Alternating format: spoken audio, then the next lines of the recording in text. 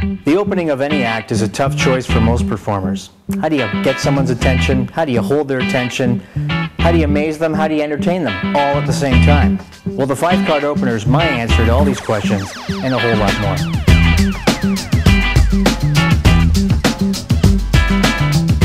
All right, I know what you're thinking. I wonder if this guy's any good. Frankly, and more importantly, I'm wondering if you're going to be any good.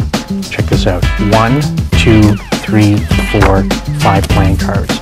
I then removed one of those cards, tossed it away, snapped my fingers, and unbelievably, there were still one, two, three, four, five playing cards. The whole audience was so impressed, they jumped to their feet, pumped their fist in the air, and said the word, amazing. Wow, you didn't even flinch. The five card opener will work for any audience in any venue. There's no lighting considerations, there's no angle restrictions.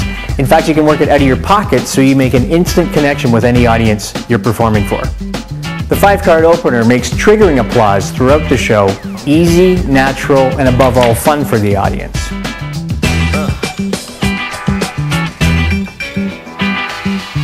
The best part about the five card opener is that your audience will be up and out of their seats giving you a huge round of applause before your show even begins. Guaranteed.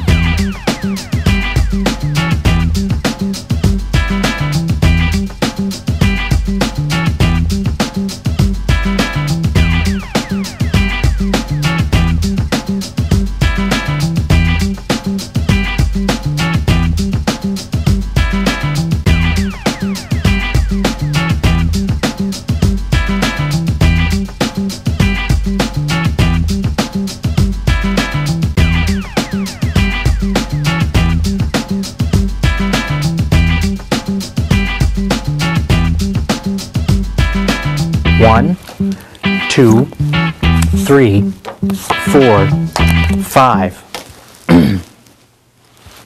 six, seven, eight, nine of those playing cards. I snapped my fingers and unbelievably before the audience's eyeballs, I still had one, two, three, four, five playing cards.